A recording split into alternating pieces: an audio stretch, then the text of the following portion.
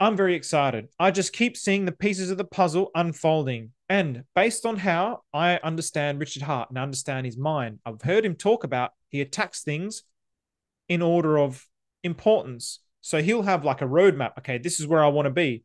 How, what do I need to do to get there? I need to I need to knock this off. Then I need to knock this off. Then I need to knock this off. Then I need to knock this off.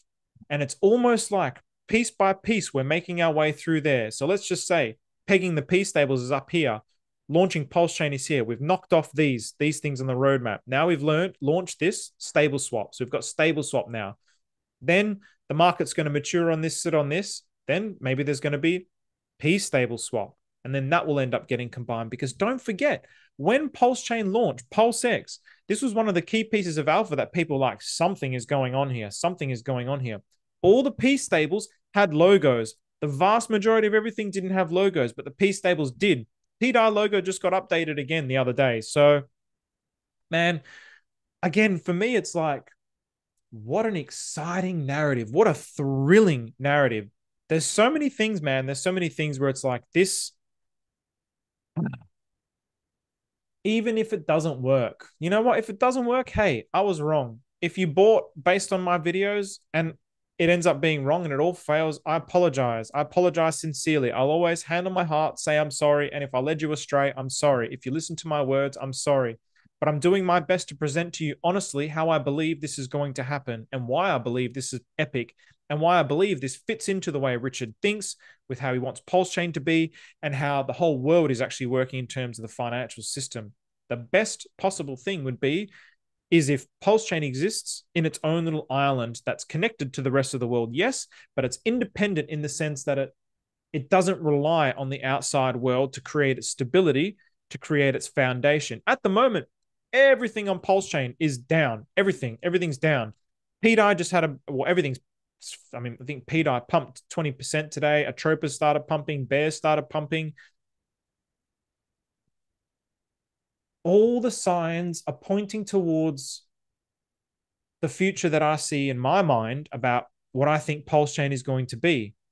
The difficulty is in getting over this short term mindset of seeing things as they are right now. It's very difficult to see through the darkness if that's the way that your mind is. For me personally, these downs just so ridiculously unaffected. It's it's phenomenal. My mind is so unaffected by this.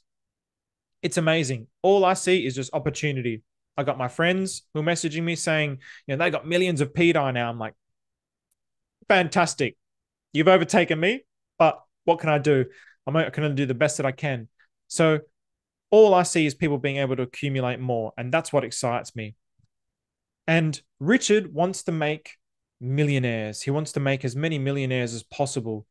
So if we can do that through the P stables, through the P copies, through all of Pulse Chain, I really do think the hypothesis that a lot of us are starting to see unfold that Pulse Chain will run last and it needs to stay down and it's being deliberately suppressed is a good thing.